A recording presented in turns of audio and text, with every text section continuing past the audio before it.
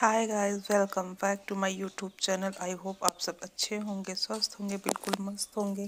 तो आज की वीडियो में हम बनाने जा रहे हैं झुरकुल। झुरकुल बनाने के लिए सबसे पहले हम उर्द की दाल को अच्छे से भिगा देते हैं। उसको साफ़ करके धो के मिक्सी में उसको पीस लें। फिर यहाँ पे हम खबहा जो होता है, कोई खबा बोलता है, कोई वो भथुआ बोलता है, उसको कद्दू कस पे रगड़ लें। रगड़ने के बाद उसको दाल और खबा को एक ही में मिक्स करके खूब फेंटे, जब तक वो पानी में ऊपर तक ना आ जाए। फिर उसको अच्छे से मिला के ये देखिए उसको खूब अच्छे से फेंटिए ताकि खूब फूल जाए, उसको अच्छे से फुला लें।